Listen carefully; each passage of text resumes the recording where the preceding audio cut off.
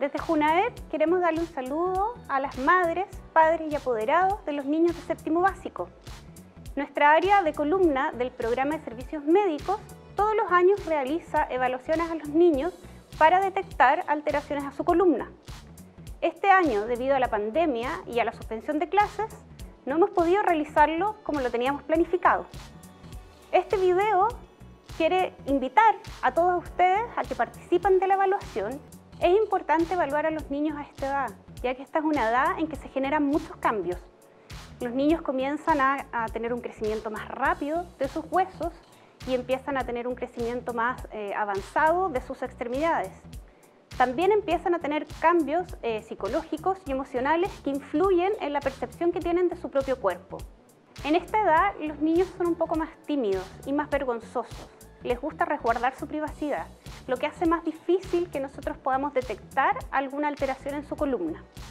La columna es el eje central de nuestro cuerpo tiene distintas curvaturas que son normales, como por ejemplo la curvatura que se forma a nivel del cuello, a nivel del tronco y a nivel de la columna baja. Hoy nos acompaña Jan, alumno de séptimo básico, que nos va a ayudar a hacer la presentación de lo que queremos conversar hoy. Una de las alteraciones que buscamos pesquisar con el examen es el dorso curvo, que corresponde al aumento de la curva en la zona dorsal de la columna. Y otra alteración que buscamos también con nuestro examen es la escoliosis, que se ve en esta visión y corresponde a una curvatura, pero en este sentido. Por ejemplo, así. Los padres y madres en sus casas se pueden fijar en algunos detalles en su hijo. Por ejemplo, observar si es que tiene los hombros al mismo nivel. Otra cosa que pueden observar es si las escápulas que son estos huesos que están a los costados, están al mismo nivel o hay uno que esté más alto que el otro. Otra cosa que podemos observar es la distancia entre la cintura y los brazos. Debe ser más o menos similar. Y lo último en lo que nos podemos fijar es que la pelvis en ambos lados esté al mismo nivel.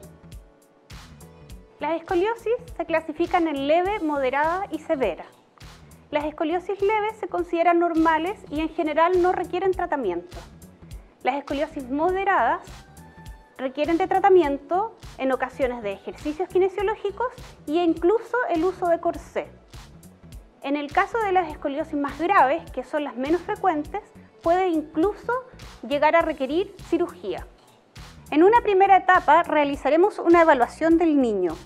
En caso de que encontremos alguna alteración en su columna, será derivado a control con el traumatólogo. En este control se va a decidir si el niño requiere radiografía y qué otro tratamiento va a requerir. Los tratamientos kinesiológicos y corsé están incluidos dentro del programa JUNAED y en caso que el niño requiera cirugía, se coordinará para que sea atendido en los servicios de salud.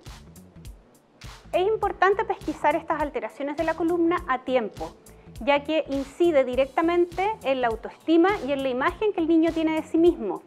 Otra cosa importante a considerar es que también incide en cómo el niño se relaciona con sus compañeros, por ejemplo dentro del colegio o en actividades sociales. Los niños que tienen alteraciones de la columna suelen ser más tímidos y tienden a restarse de algunas actividades sociales que involucran contacto con sus compañeros. Es relevante mencionar que la escoliosis no es fácil de detectar, ya que es una patología silenciosa. No suele generar síntomas, los niños no van a reclamar por dolor y se va a ir desarrollando de forma progresiva. Por eso es muy importante que lleven al niño a evaluarse con un profesional especializado como lo es el kinesiólogo. Debido a la pandemia que estamos viviendo en nuestro país, hemos tomado todos los resguardos para disminuir al máximo los riesgos y poder así evaluar a los niños y niñas de séptimo básico de todo el país. Amigos, amigas, no pierdan esta oportunidad para cuidar tu salud.